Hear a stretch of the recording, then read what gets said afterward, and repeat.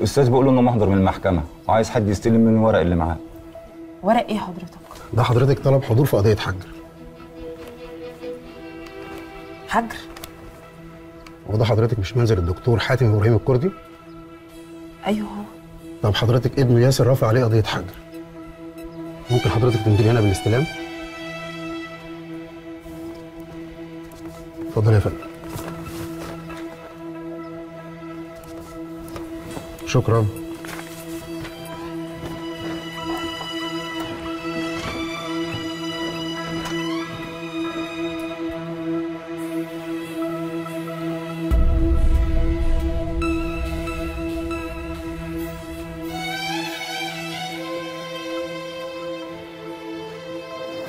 نصيب إيه وحسابات إيه اللي انت عايز تتكلم فيها؟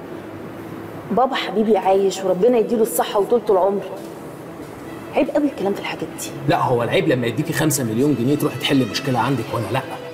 مثلا بابا ممكن هو اللي يهمك؟ أنا اللي يهمني وفارق معايا المستشفى والبيت ده والودائع اللي في البنك. وهبقى كداب لو قلت حاجة غير كده. يبقى بابا عنده حق. انت اللي سقطت معاه. أميرة قالت لنا وسمعتنا الكلام اللي يقول إن أنا ما سرقتش حاجة. أخوك ياسر هو اللي سرق الخزنة. الله أمال مين اللي جه؟ وايه الظرف اللي في إيدك ده؟ ابنك. الأستاذ اتهبل في عقله.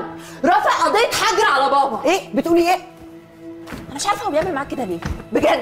يعني هو عايز يجلطه ولا يجيب له شلل ولا يموته ناقص عمره ولا إيه بالظبط؟ طب بس بس بس اهدي اهدي اقعدي أنا هكلمه دلوقتي افهم منه إيه الموضوع. تفهمي إيه؟ ماما انت عايزة تفهميني ان انت ما تعرفيش حاجة عن الموضوع ده؟ طبعا ما أعرفش. اعرف إيه؟ عمره ما جاب لي سيرة حاجة زي كده. هو آه طلب مني ان أنا اعمل له توكيل لمحامي يخصه. بس أنا فعلا ما عملتوش. ويطلب منك توكيل ليه؟ وأنت زي ما تسأليهوش عايزه التوكيل ده في إيه؟ عشان أنا عارفة. أنا عايزاه يرفع لي قضية طلاق مش حجر. أنا مش جاحدة عشان أعمل كده مع أبوك يا يارا. أيوه يا ياسر أنت فين؟ أنت لسه هتساليني أنت فين؟ هتقولي أيوه يا ياسر.